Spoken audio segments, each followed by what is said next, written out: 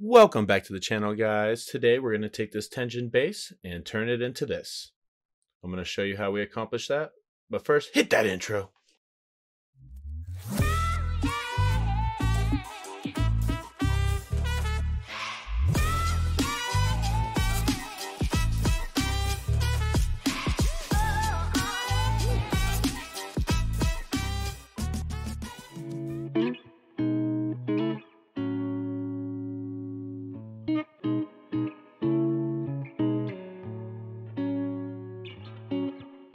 As I said in the intro, appreciate you guys returning back to follow us along in this Tenjin series. We're just going to jump right into it. Uh, pretty much today we're going to be tackling some bamboo, some marbling, some rocks, also some highlighting within this little kind of medallion emblem in the center. We're going to be doing a little bronzing on some lanterns, so it's going to be a pretty packed video. Uh, for the most part, you know, these are steps and applications that we've learned previously, so this is going to be kind of more of a relaxed, casual video. So I hope you guys enjoy.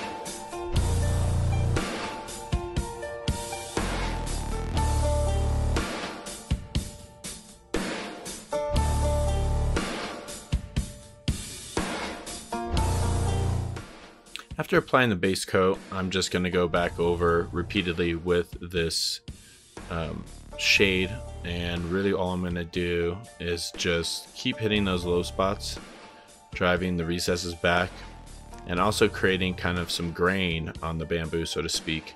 I want this bamboo to kind of look old and weathered, so I'm just going to keep going and making little tiny uh, lines all along where I can, and then mopping it up after it dries a little bit You'll see here in a few minutes, it's going to give it a nice little grain look. Um, you know, the more you do it, the more it will start to look like wood, so you don't want to get too carried away, but you also don't want it to just look like yellow sticks.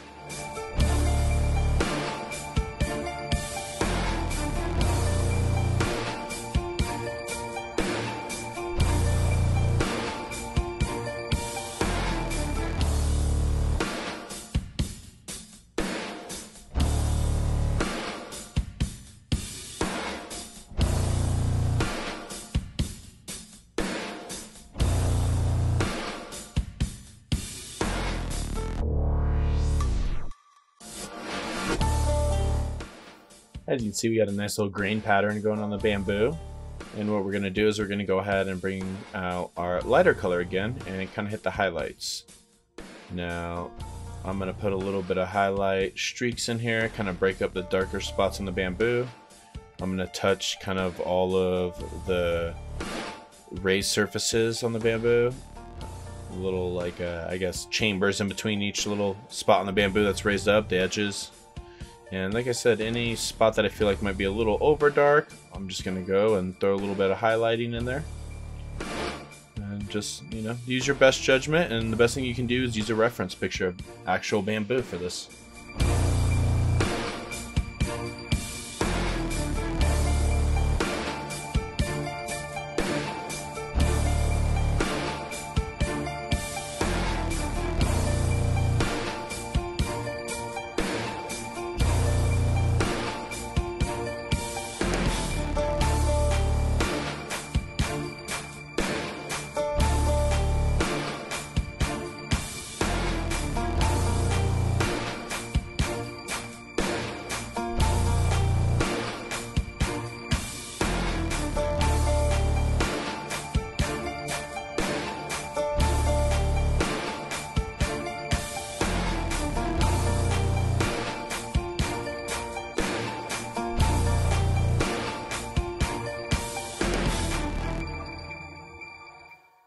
Doing now is we're going to take this poster tack and we're actually going to apply it to our base.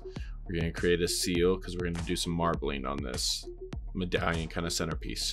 We want to make sure there's a good seal so none of that paint leaks under.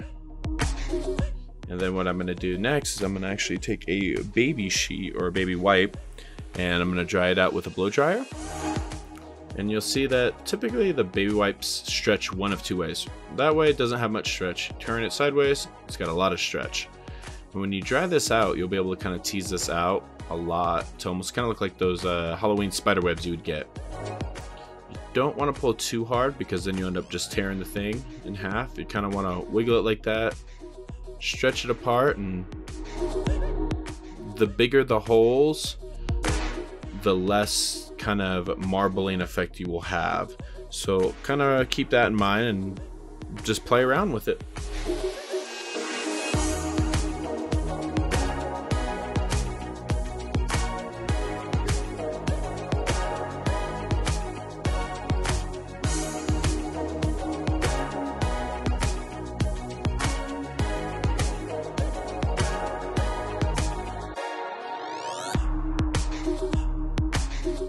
So now we're just gonna add our two colors that we want to create the marbling undertone, or I guess the, the actual marbling in the stone. I've gone ahead and picked kind of a darker muted turquoise and a muted magenta purple, so to speak. The reason why I picked the muted colors is I didn't know how much this was gonna pop through. And I didn't want the main focal point of this base to just be the marbling in the center and take away from everything else. So you'll actually see here, I do it muted, and when I do some more marbling later in the video, I actually take it a lot brighter. A lot brighter.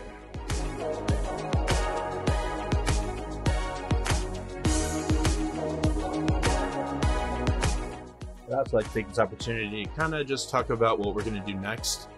Really, the big thing that you want to remember when marbling is let this dry completely before you put on the baby wipe.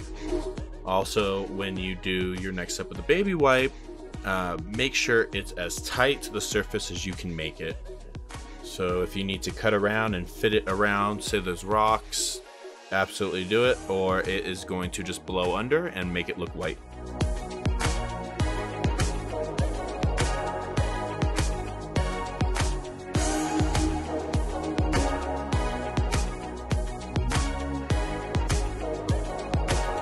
Now you're just going to choose what kind of marbling rock you want there to be. Do you want it to be a white rock, a little bit of gray and white? I'm just going to start with a little darker gray, going to kind of hit some spots, and then I'm going to move progressively brighter and brighter. Kind of almost till I have a white rock. I want those contrast colors to really pop through, so I'm going to use white. You can do black, you can really do whatever color you want.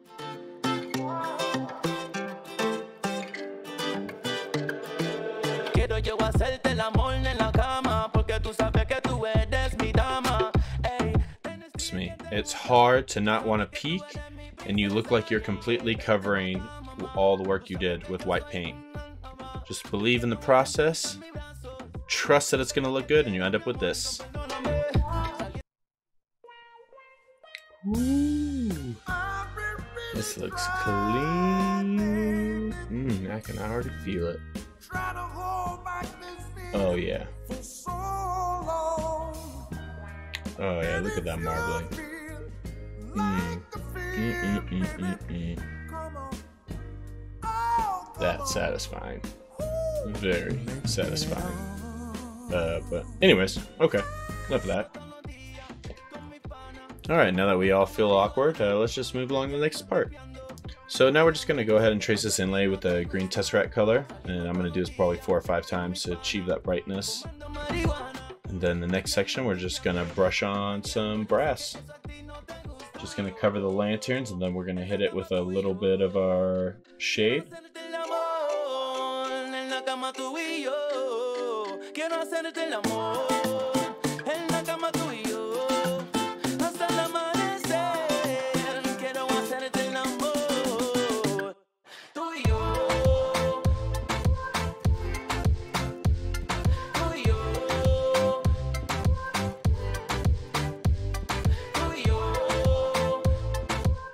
Same rule applies here as any other previous video where I've used shades or washes. You kind of want to push them into the recesses and I'm going to go ahead with a brush after and kind of mop up any standing wash that's on a flat surface. We just kind of want to make this look aged. We don't want to make this look muddy.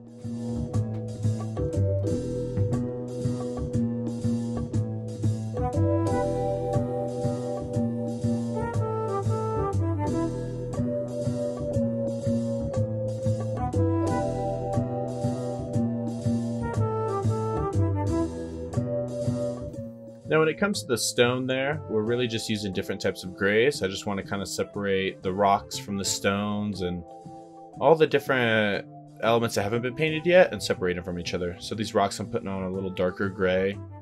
The pebble stone down at the bottom I did a lighter gray with some random kind of darker and lighter gray spread throughout. And then I'm just going to throw an entire wash all over the thing. And same thing, taking a dry brush after and wiping them off the top surfaces of the rock we just want that wash to go into the recesses.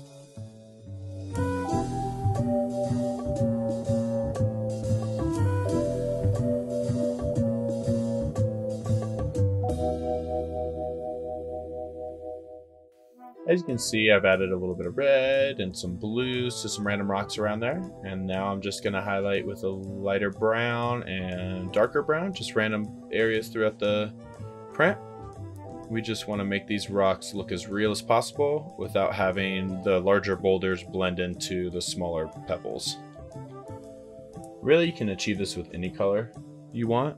I just decided to go kind of a brown, dirty look to make that marble pop a lot more. And I want the actual samurai to really stand out.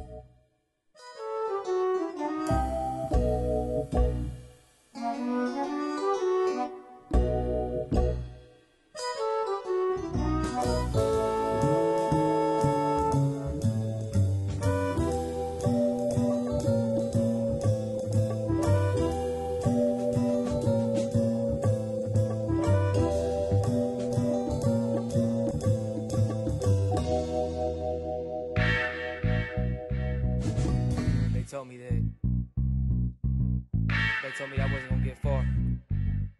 So I told them like this, look. My adversaries crumble when we rumble. It's a catastrophe on anybody who tryna hate coming blasting me. I've been in this for a minute. So I decided I wanted to add some resin actually to the fountains and put a little life to the base, if you will. So I 3D printed some water lilies that I can drop in here and then decided to mix up some 5 minute epoxy. Dropped a couple of things of blue ink into there. And what I've created here is kind of a little makeshift, I guess, mold so I can have the water pour out the side of the broken fountain. And all I did is just took a straw, cut it in half, uh, took some petroleum jelly. That's the, the main ingredient or your resin's never going to break free. And then I just taped it into the shape so the tape will hold it and poured it and filled it in. And the nice thing about 5 minute epoxy is it sets up in 5 minutes. And now I'm just going to pour it into the fountain and just kind of use this toothpick to pull it where I want it to go so it actually looks like water. The big thing is making sure that that resin doesn't go all over the place because it is very sticky and hard to clean off, especially when you have a painted surface that hasn't been sealed.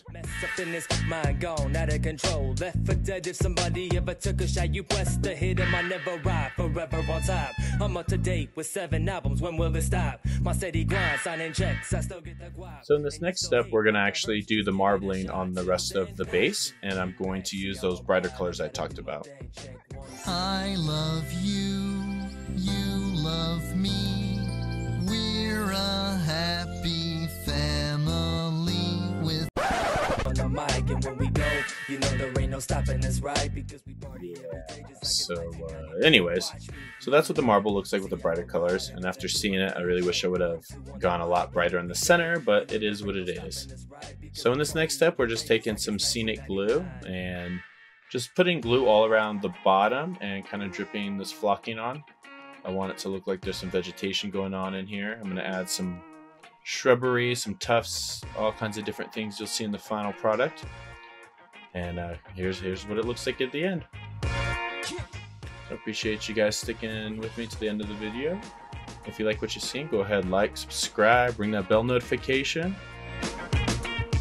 This was a fun project. I really enjoyed doing this. Took a lot longer than I thought, but well, remember, guys, take care of yourselves and each other.